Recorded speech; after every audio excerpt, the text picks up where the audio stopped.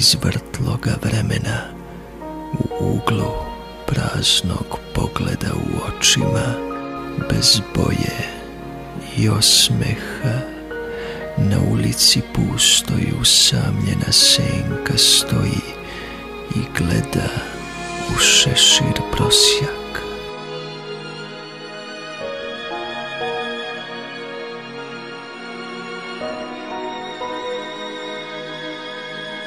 Ispružene hrapave ruke trgaju žice, tražeći muziku radosti i sreće u prstima sklonište od tuge i bola da bi mogle serenadu ljubavi svirati svako veče.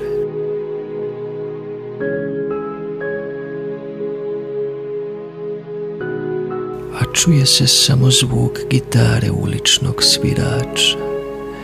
Svira pesmu tužni od dečijeg plača.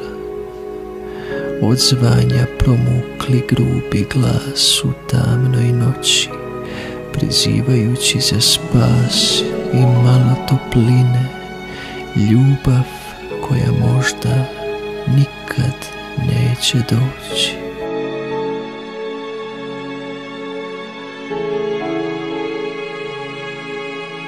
Tek poneki prolaznik što nekud žuri zastane na tren da ubaci novčić u šešir pun bola, ali ne može njime oterati tugu, kupiti radost, niti otkloniti bore sa umornog čela. Ne može tuđom srećom kupiti lek za njegove duboke rane.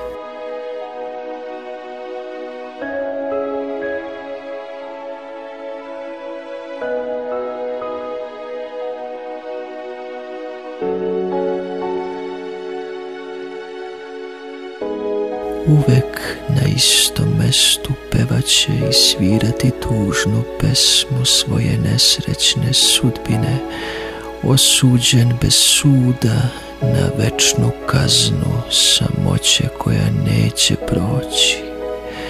Nikad neće upoznati drugu stranu nekog srećnog života.